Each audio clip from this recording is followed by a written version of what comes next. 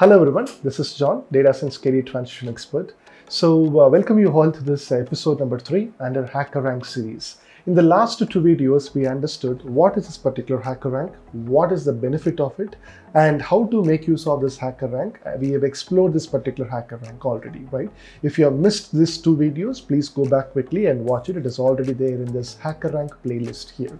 Right, so today in this episode number three, as I've already promised in the last video that I will be coming here and working with respect to the scripts and I'll be showcasing it uh, over here.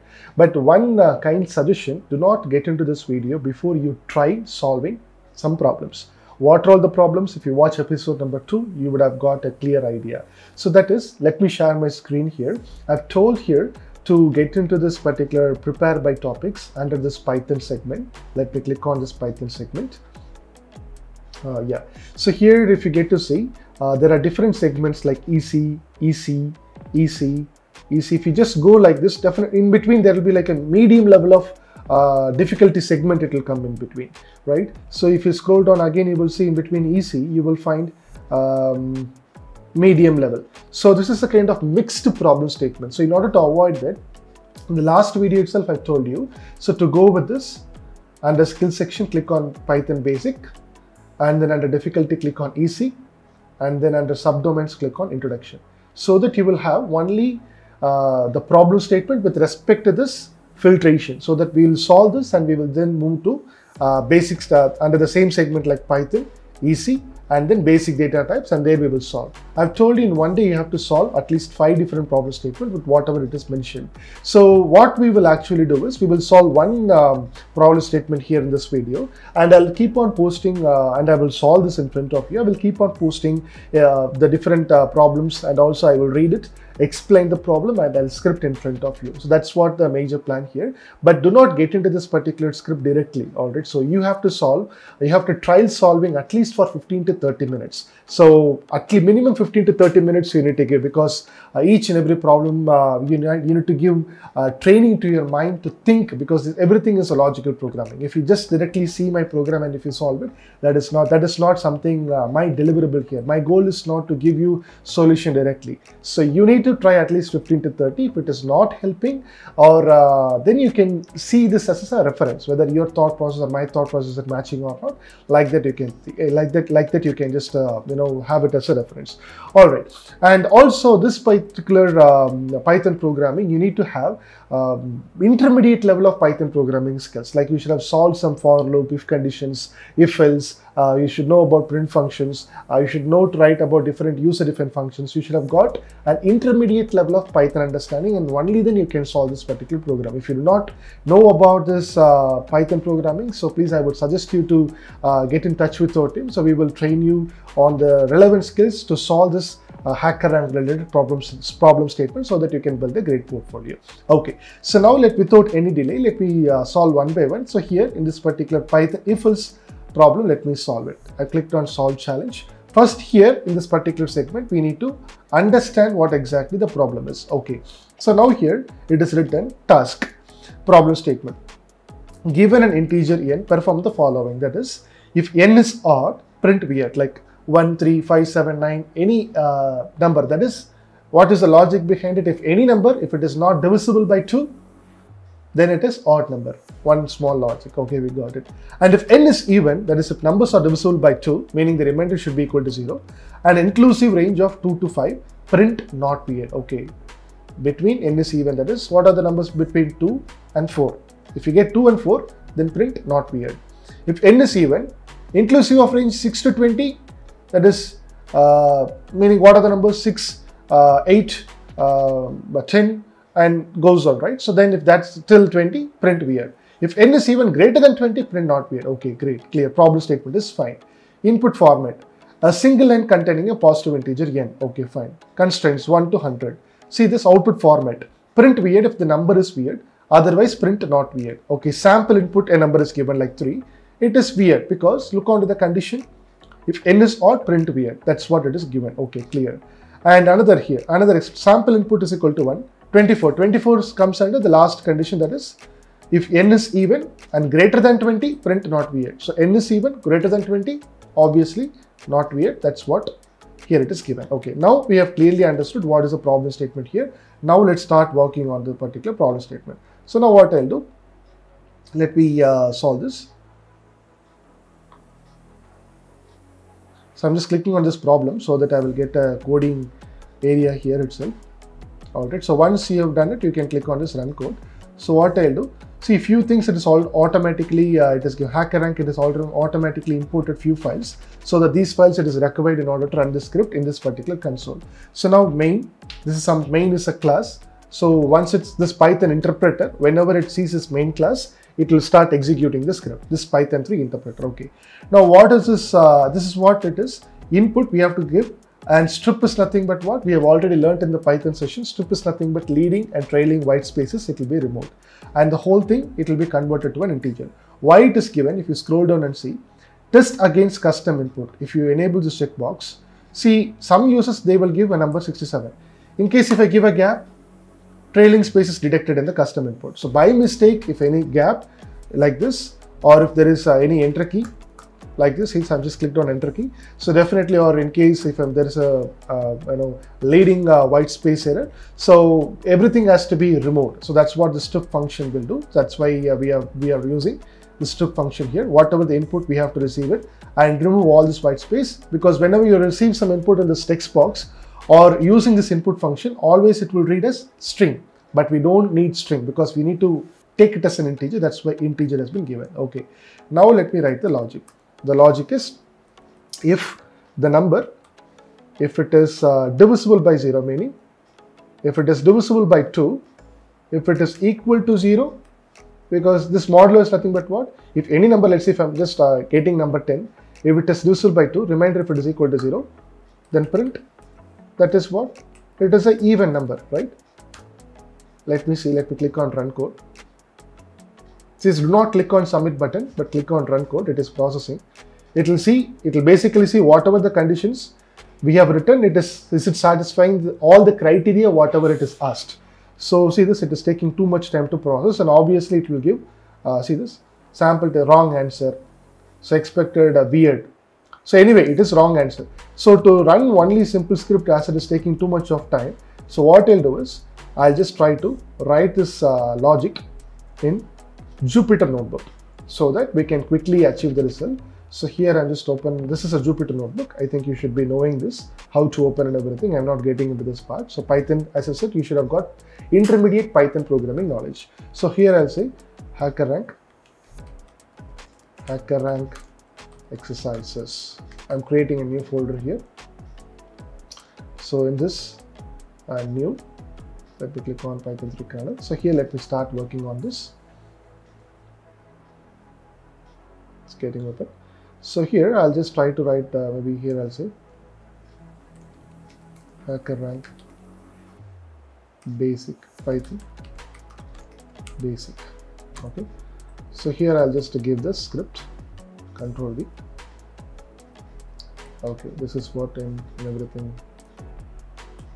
Okay, whatever it is there, I just uh, copied it and pasted it here. Right. So let me click on execute. So if I'm clicking on execute, it will auto, it will. Okay, if is indentation error, so we should have proper indentation only one time. Okay, if it should come over here, and this should come. All right. Now if I'm clicking on six, it is giving even because 6, the remainder of 6 is 0, it is even. But what is the question? Let me read out this question, let us keep this aside. The question if, if n is odd, print weird, meaning it should be odd. n, whatever we are receiving, it should be odd. Print, it is saying it is weird. So I'll say I wanted to print weird. Weird. n should be odd, right? Meaning the number it should not be divisible by exclamatory equal to meaning what? If a number comes in, if it if the remainder if it is not equal to 0, then print weird. Let me execute it again. So now let me click on 5. 5 remainder is what? Remainder is 1, meaning it is not equal to 0. Obviously it will print. Oh, it is taking some time because I have not executed it. Let me restart the card. Yep, let me execute it. Again, it is taking some time. Yeah, print, let me give number 6. See this, it is not printing anything because this condition is not satisfied. So let me execute. Let me give one odd number, 7. See, it is printing weird. Where first condition is satisfied. Okay. n is odd, print weird. Second condition. If n is even, an inclusive range of 2 to 5. Okay, two condition. n is even and inclusive 2 to 5, print not weird. And another condition. Okay, so elif, because one condition is done, there is another condition. If a number comes in and if this particular n, if it is, if the remainder, if the remainder if it is equal to 0, and one more condition is what? If n, if it is in the range of 2 to 5. So I'll say n 2 less than or equal to uh, n less than or equal to 5 and if, if it is in the range and as since it is a two condition I'll just take it inside bracket. Okay I'll say print. What says? It is saying uh, not weird. 2 to 5 not weird. Okay let me print. Not weird. Let me execute and see. Now okay let me give an even number. 4 definitely this condition will not satisfy so it will come into this loop. 4 divisible by 2 the remainder is 0 and it's between 2 to 5 right so it's saying it is not weird. Okay great. Now what is the next condition? N is even inclusive of 6 to 20 okay the same condition. Let me copy this. If the number is coming in control c. Control v. So it is between 6 to 20 we have to print what? If it is between 6 to 20 print weird. So let me click on weird okay? And last condition let me also execute it. N is even greater than 20 okay n is even meaning last condition elif or last last condition right? Only we can put else. Or you can so put L, lf also else. What is it if n is even? Equal to 0 remainder if it is equal to even and greater than 20 greater than 20 meaning same thing and uh, n here I'll say greater than greater than 20 starting from 20 so as this is also one condition.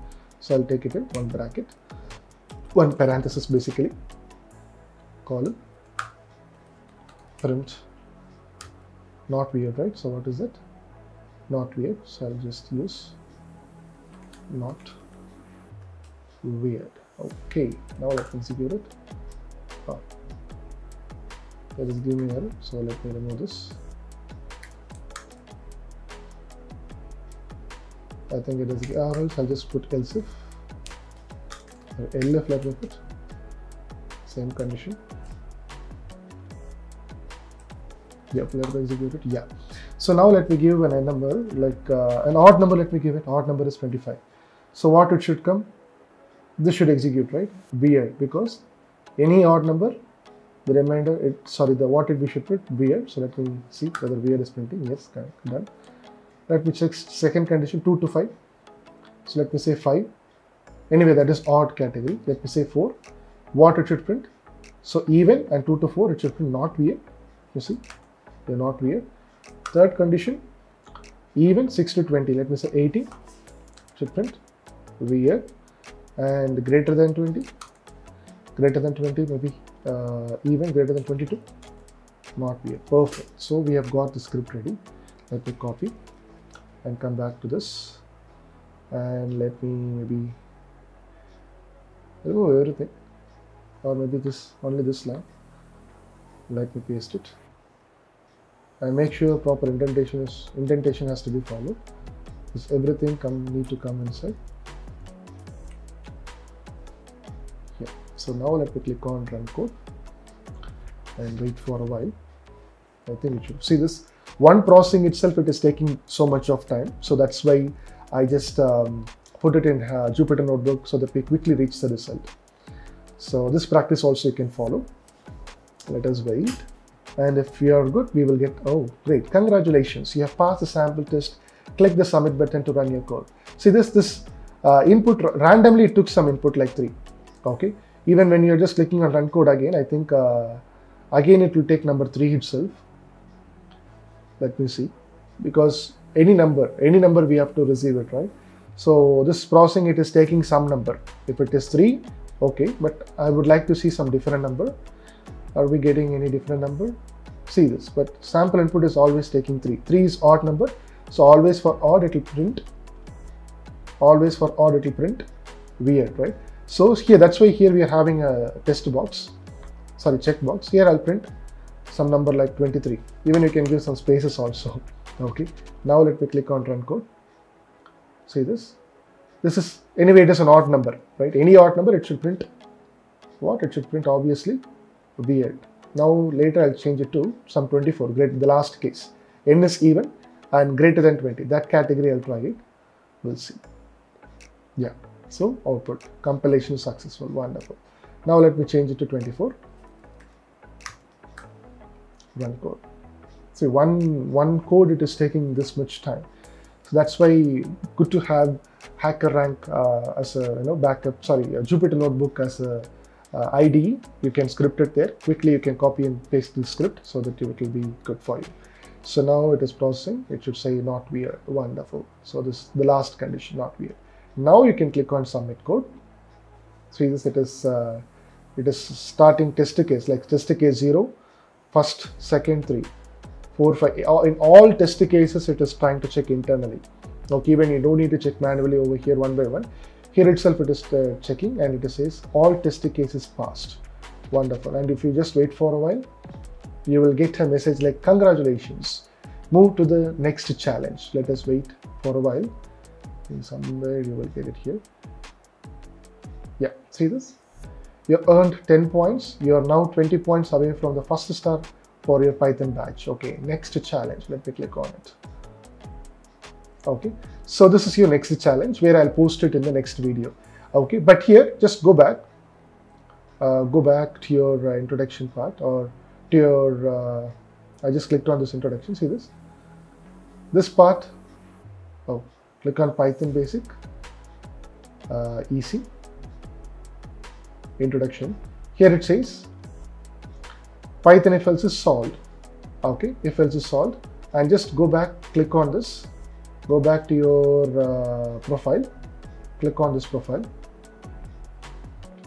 and if you scroll down, see this? Here you have gained one yellow color light, one item June 1 we have submitted.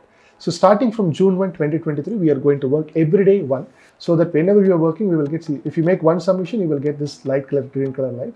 So if you make everyday submissions, you will get every uh, yellow color lights. And whenever if you copy this and if you, if you send it to any um, hiring managers, when they see this, okay, they will get an understanding, okay, he is very much interested towards coding, interested in developing something. That's what the impression that you are giving to the hiring managers. So let's do that. Okay, so I hope uh, this video was so much helpful for you in working with, we started with problem statement one, that is uh, Python basic, easy, and introduction part, we solved Python if else, uh, or we can say nested if else um, um, problem statement. In the next video, we will solve another problem statement for that, you need to wait for one day. We will post every day one video. Okay. So um, thank you so much for watching. In case if you would like to have in-depth Python programming knowledge, so feel free to reach out to us. So we will train you accordingly in such a way that to solve any kind of Python um, programming uh, knowledge that you need to have to work as a data scientist in any companies. All right. Thank you so much. Um, we'll meet you in the next video. Bye-bye.